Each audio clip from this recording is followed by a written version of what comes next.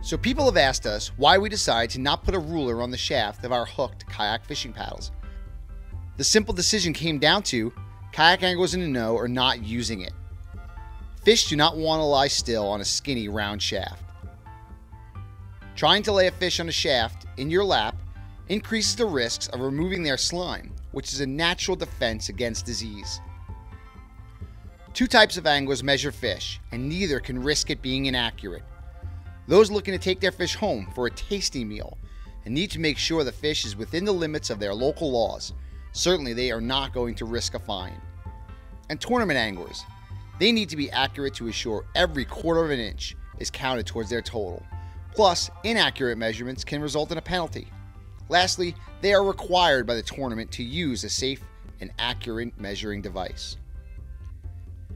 Here at Werner, our philosophy is ultimate paddle performance and where we fit into the kayak fishing community is designing and handcrafting you the world's best paddling fishing paddles. You wouldn't bang a nail in with a screwdriver, would you?